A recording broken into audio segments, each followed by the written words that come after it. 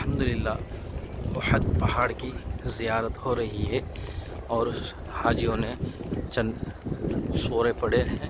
उनके इशाल सवाब के बाद मुख्तसर दुआ करके इन उहद की ज़ियारत मुकम्मल करेंगे और यहाँ से रवाना हो जाएँगे रूम के लिए दुआ में। याद रखें अल्लाम वरहमल